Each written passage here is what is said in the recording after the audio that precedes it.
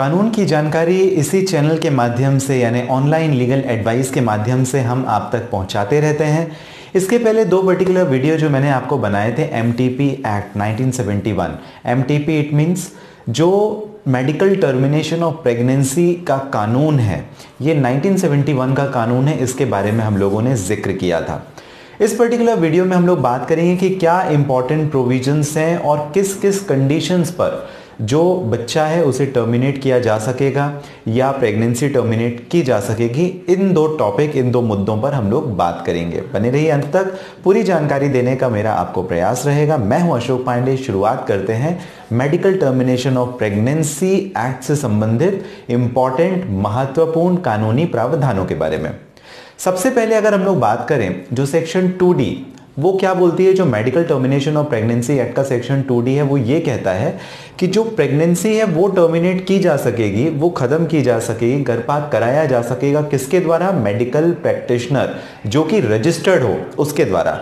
मतलब registered medical practitioner के अलावा कोई और टर्मिनेट नहीं कर सकता। सेक्शन टू में प्रॉपरली डिफाइन किया हुआ और इसके अलावा रजिस्टर्ड मेडिकल प्रैक्टिशनर कौन होगा? रजिस्टर्ड मेडिकल प्रैक्टिशनर की जो प्रॉपर डेफिनेशन है, वो 1956 का जो दूसरा कानून है, उसकी धारा दो सेक्शन टू में बताया गया है और ये कानून है इंडियन मेडिकल काउंसिल एक्ट 1956 तो मेडिकल प्रैक्टिशनर वो होता है जो स्टेट गवर्नमेंट है। स्टेट गवर्नमेंट के पास में एक रजिस्टर्ड होता है। मैं आसान शब्दों में आपको बताने की कोशिश कर रहा हूँ।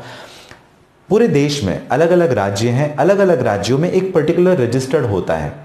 किसके हिसाब से जो इंडियन मेडिकल काउंसिल एक्ट 1956 का कानून है? जितने भी बनकर निकलते हैं डॉक्टर्स तो डॉक्टर्स एक पर्टिकुलर उनका जो रजिस्टर है स्टेट गवर्नमेंट का, वहाँ पर उन सबकी एंट्री होती है, आप ये समझ लीजिए, इसे मेडिकल रजिस्टर भी कहा जाता है।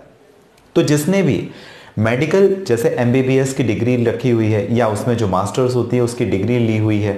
और स्पेशली जैसे जो बच्चों के प्रेगनेंसी को टर्मिनेट करेंगे, गायनिकोलॉजी बोलते हैं उसे ऑब्स्टैटिक्स बोलते हैं तो इनसे संबंधित जो डिग्री अगर उन्होंने रखी हुई है अपने पास में, उन्होंने इसकी पढ़ाई की हुई है, और ये स्टेट गवर्नमेंट की जो मैंने आपको मेडिकल रजिस्टर बताया था, वहाँ पर अगर रजिस्टर्ड है तो उन्हीं को ये पावर है, उन्हीं को ये लीगल राइट्स है कि वो मेडिकल प्रेगनेंसी को टर्मिनेट कर सकें। तो ये हो गया जो मैंने आपको बताया registered medical practitioner section two के हिसाब से एम टी पी एक्ट 1971 अब किन कंडीशंस पर प्रेगनेंसी को टर्मिनेट किया जा सकेगा? मतलब टर्मिनेशन ऑफ़ प्रेगनेंसी की भी बहुत सारे रीजन है। बेवजह आप बच्चे को टर्मिनेट नहीं कर सकते, गर्भपात नहीं कर सकते।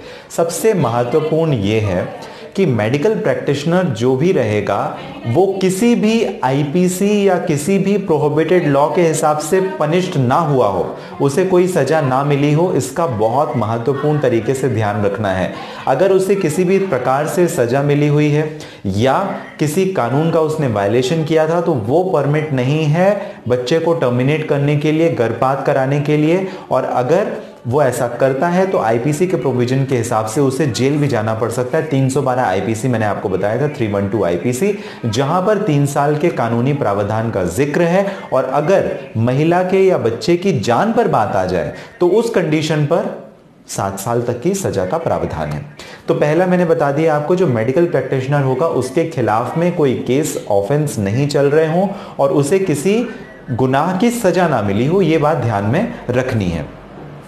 अब इसके अलावा दूसरी बात कि जो ड्यूरेशन है वो बहुत इंपॉर्टेंट है। यानी जो 12 हफ़्ते से कम के बच्चे होंगे 12 वीक्स की जो भ्रूण बोलते हैं जैसे तो वो 12 महीने का ही होना चाहिए। अगर 12 महीने से ज़्यादा का है तो फिर दो क्वालिफाइड मेडिकल प्रैक्टिशनर का रिक्वायरमेंट होता है, ज़रूरत होती है। 12 से 20 महीने तक 1971 के कानून के हिसाब से।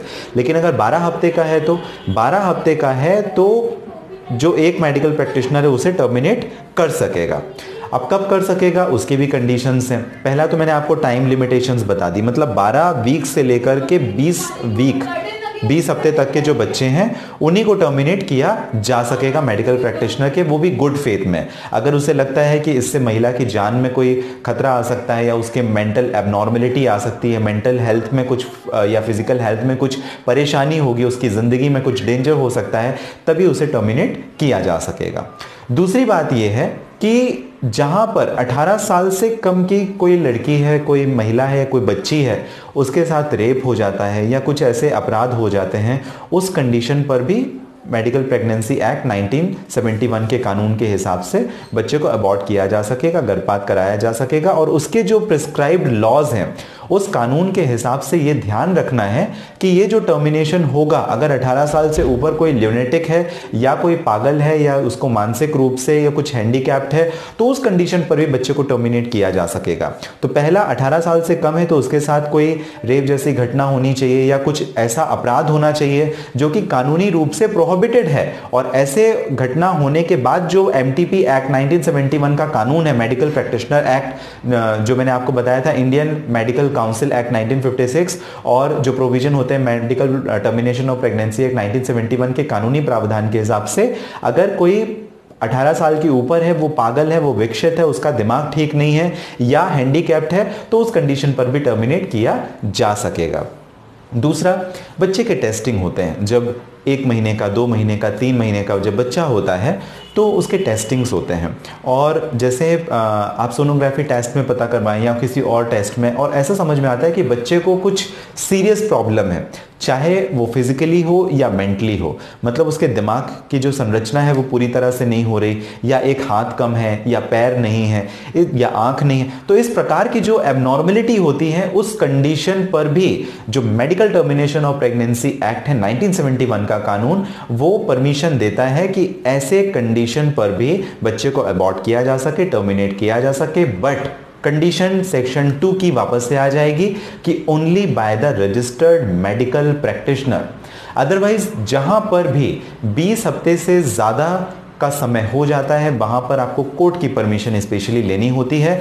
अभी अमेंडमेंट चल रहा है अमेंडमेंट ऑलरेडी पार्लियामेंट में दे दिया गया है। इसके बारे में हम अगले वीडियो में बात करेंगे कि क्या है आखिर ये कानून, क्या नया कानून आने वाला है। 1971 का तो जो कानून था वो पुराना हो गया। अभी 30-35 साल का ज़्यादा समय हो गया। अब जो नया 2020 का अमेंडमेंट है, जो मोदी सरकार लेकर के आ रही है, उसके जो महत्वपूर्ण की फीचर्स हैं और क्या क्या बदलाव medical termination of pregnancy act 1971 के अमेंडमेंट टू 2020 में किया जाएगा। अगले वीडियो में हम लोग बात करेंगे जानकारी। इस पर्टिकुलर वीडियो में आपको कैसी लगी, पसंद आई हो तो ज़रूर मुझे बताइएगा। कमेंट बॉक्स में ज़रूर मेंशन कीजिएगा। इसके साथ हर दिन मैं कोशिश करता हूँ कि लगभग 20 जो कमेंट है या 200 कमेंट तक मैं रिप्लाई करने की कोशिश करता हूँ और आप मुझे प्रश्न पूछ सकते हैं कमेंट बॉक्स पे। किसी पर्सनल प्रॉब्लम के लिए बात करना चाहे व्हाट्सएप नंबर दिया गया है। साथ ही इस वीडियो के डिस्क्रिप्शन में लिंक है, जहाँ से आप अपॉइंटमेंट बुक करके भी बात कर सकते हैं। आप सभी का कीमती और महत्वपूर्ण समय जो आपने मुझे दिया, इसके लिए बहुत